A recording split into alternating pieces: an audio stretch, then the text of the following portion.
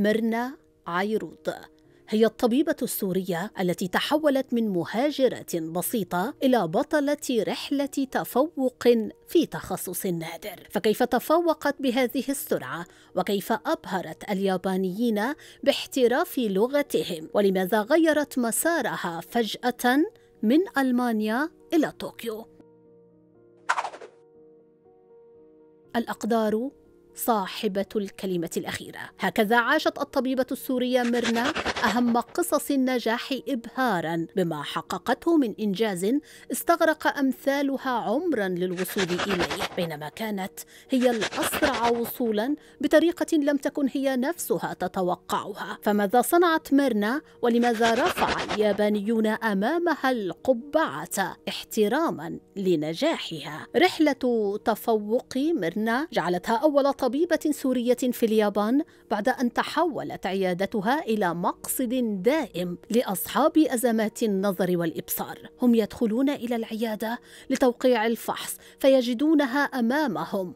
سيدة عربية وقورة ترتدي حجابها الأبيض وتجلس باتزان توقع الفحص الطبي وتبدأ طمأنة زائري عيادتها بأن شفاءهم مسألة وقت. إنها لا تكتفي فقط بالفحص وكتابة الأدوية لمرتادي عيادتها بل تعمل كذلك على تقديم الدعم النفسي لهم. لكنهم لا يعلمون أن طبيبتهم التي أبهرتهم لم تكن بلادهم وجهتها من الأساس لأن مرنا كانت وجهتها الأولى إلى ألمانيا حيث درست اللغة الألمانية جيدا ووصلت فيها إلى درجة الإتقان قبل قرارها السفر إلى برلين لاستكمال الدراسة. لكن أقدار الحياة ليست دائما وفق مراد البشر. كانت بداية الدكتورة ميرنا مع الطب منذ مراحل عمرها الأولى حيث اهتمامها بصحتها وتحديدا صحة العينين.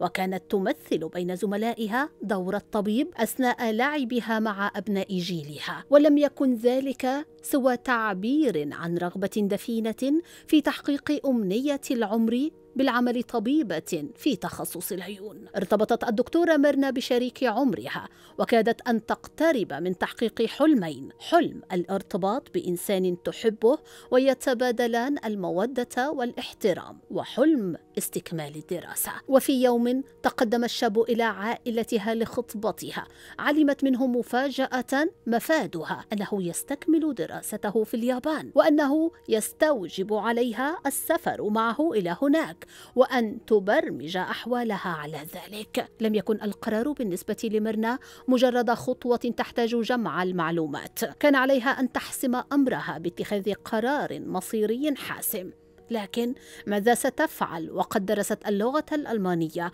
ورتبت جميع أمور حياتها على أنها بصدد السفر إلى ألمانيا واحترفت لغة ذلك البلد الأوروبي.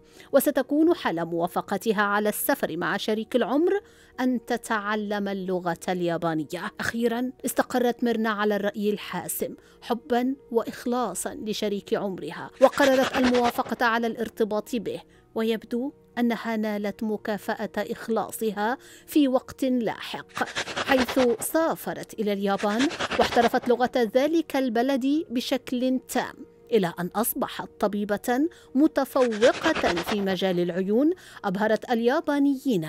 ليس فقط بتفوقها ولكن بقصتها الملهمة.